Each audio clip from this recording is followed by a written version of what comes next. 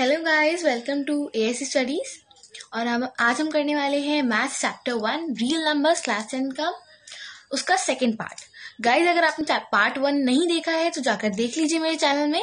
आज हम उसका पार्ट टू करेंगे जिसमें मैं आपको बताऊँगी एलसीएम और एचसीएफ के बीच का रिलेशन सो so, अब हम जानेंगे एलसीएम और एचसीएफ के बीच रिलेशन क्या है. अभी की एनसीआरटी बुक से हम एग्ज़ाम्पल नंबर सिक्स ले लेते हैं. देखिए, उस क्वेश्चन में बोला गया है कि एलसीएम एंड एचसीएफ फाइंड करना है आपको सिक्स और ट्वेंटी का। इट्स एन एग्ज़ाम्पल जिसमें बताया, बोला गया है कि सिक्स और ट्वेंटी का ना एलसीएम एचसीएफ फाइंड कीजिए। अब आपको इन दोनों का एलसीएम एचसीएफ निकालना है। आप इसका निकाल लेंगे, इसका निकाल लेंगे। पहले हम एलसीएम निकाल लेते हैं। ये हमने निकाल लिया एलसीएम और हमारा एलसीएम क्या आया? Two into two into three into five क्या आया? ऐसे ही निकालते हो ना आप लोग भी एलसीएम हमारा सिक्सटी आ गया एलसीएम है ना? सबको यही आया? सिक्सटी आ गया एलसीएम तो ये तो हमारा एलसीएम था। अब एचसीएफ की बात करते हैं। एचसीएफ जो मैंने अपने पार्ट वन है, उसमें दो तरीके से बता रखा है। एक तो नॉर्मली आप निकालते हैं और दूसरा एक यूक्लिड डिविजन लेमा से। नॉर्मली वाला निकाल लेते हैं, जिसमें एक तरफ़ सिक्स के निकालेंगे, एक तरफ़ ट्वेंटी के फैक्टर्स करेंगे। कर लिया, इधर भी कर लिया। अब कॉमन फैक्टर क्या था? सिर्फ़ एक सिंगल टू तो एच सी एफ़ सिर्फ़ आ गया टू अब आप देख सकते हैं, आपका एलसीएम है एच सी एफ़ है। अब मैं आपको इसका एक रिलेशन बताती हूँ।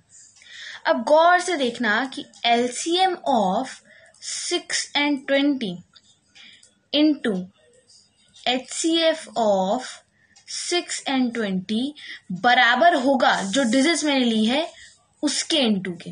देख लो सिक्स और ट्वेंटी का क्या एलसीएम आया? सिक्सटी लिख दो। सिक्स और ट्वेंटी का एलसीएम क्या आया? टू उधर भी है। देख लो, इधर भी वन ट्वेंटी आएगा, उधर भी वन ट्वेंटी आएगा। है ना बराबर? अगर जो सेम डिजिट का अगर हम एलसीएम और एचसीएफ निकालते हैं तो वो इक्वल होगा उन्हीं दोनों डिजिट्स के प्रोडक्ट के।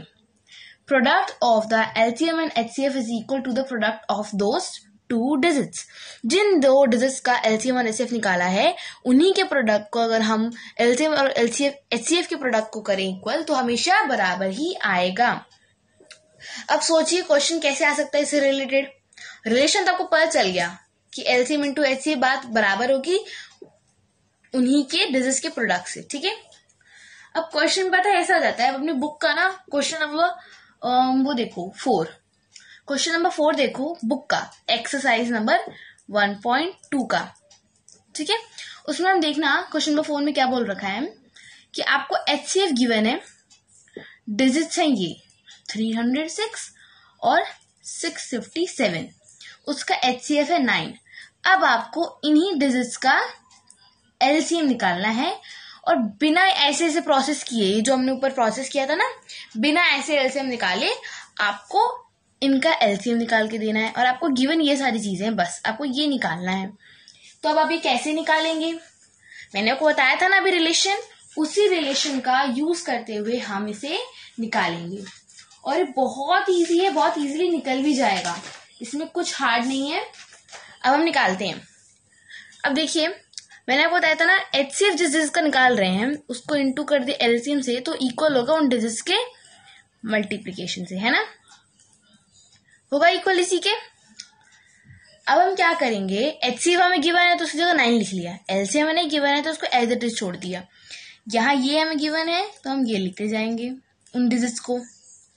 एलसीएम इधर ऐसे रह जाएगा, ये उधर डिवाइड में चला जाएगा। और ये हमारा नीचे आ गया डिवाइड में। अब आप इसको कट करके सॉल्व कर लेंगे। अब ये सॉल्व करेंगे और आपका आ जाएगा, मैंने तो सॉल्व कर रखा है, आप रफ में कर लेना। Two two three three eight so हमने इतनी बड़ी डिजिट का थ्री हंड्रेड सिक्स और सिक्स फाइव सेवन का एलसीएम निकाल लिया।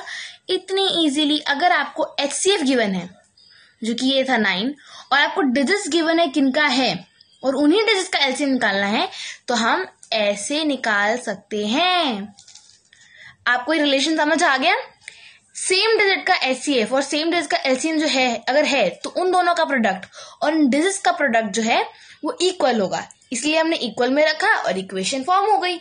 इससे लास्ट में आंसर हमारा आ गया। और ये बहुत मोस्ट इंपॉर्टेंट टॉपिक है, इसको समझ लीजिए, याद रखिए बिकॉज़ ये एग्ज़ाम्स में पेपर में आ जाता है। Thank you for watching the video next part के लिए वेट कीजिए।